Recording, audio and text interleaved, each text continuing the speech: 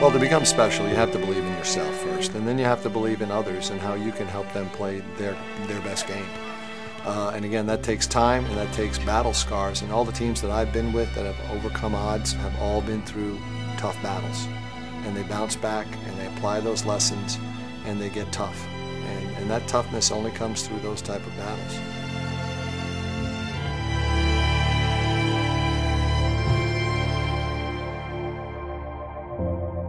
I think to give you an idea of of his calmness and his teaching ability uh, and his positive uh, attitude, you would have to look at one of the, the games in FedEx Forum where they seemed to have control of the game. The game started to get away from him. They were making mistakes, but he never panicked.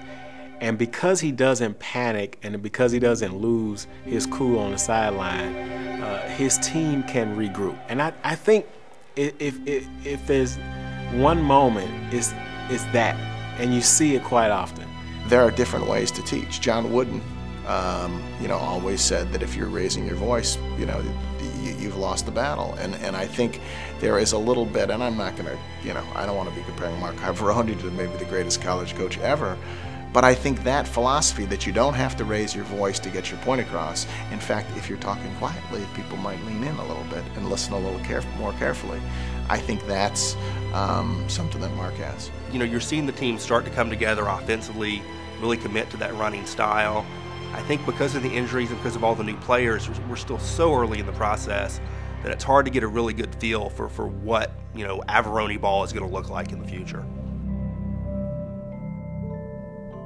Put your knowledge, your heart, your gut into the game and into your teammates, okay? Don't wait for someone else to do it. Let's do it ourselves. The thing that carries you through everything adverse is being positive and being patient. Anyone can teach, anyone can get a message across, anyone can get followers when you have instant success. And you really don't have instant success anywhere.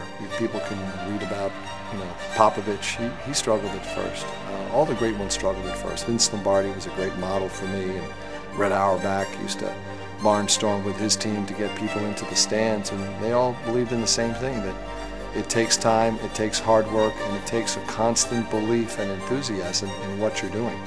And throughout all the rough times, you have to be positive and you have to be patient. Otherwise, you're going to lose people, you're going to lose your own belief, um, and you're going to end up quitting before you've even gotten uh, close to the ultimate prize. Let's go, go to work. Tough luck, here we go, let's go. That's the way to be. That's not a, that's not a gamble, that's what we're doing. Great job, great job. One play at a time, one stop at a time. Let's go. Come on, guys.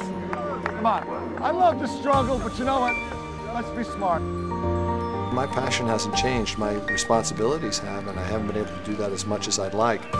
But I want players to feel that, you know, even though I'm not a big, strong guy, that I can play strong by playing with leverage, playing with my body, using toughness and technique.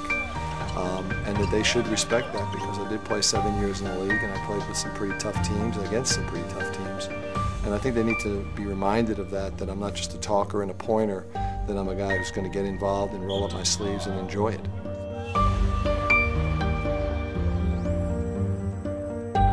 Nice. You got it. Walk! Thank you. Tommy walked on the first one.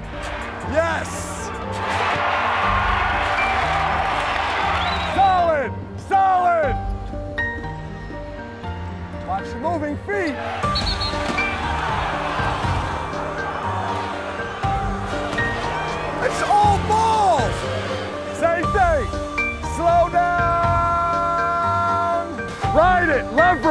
Leverage. Leverage. Solid. Solid. Solid. So What's that hook arm? What's that hook arm? Quit up chucking. Go with it. Go with it. Nice job. That's the way. Well, number one, we've got to continue to believe that every night we have a chance we will win the game. And that we believe in our preparation and that we prepare correctly and that guys don't try to do things that they're not prepared to do. They just do their job, and if everybody's doing their job, then we will execute. And if we execute, we'll knock down shots. And if we knock down shots, our defense will probably be better. And when we don't, our defense has to be solid anyway. And so you have to be able to do both things well. And when you do all of those things, you've got great chances to win games. And you start forming something that is based on uh, execution and not just luck.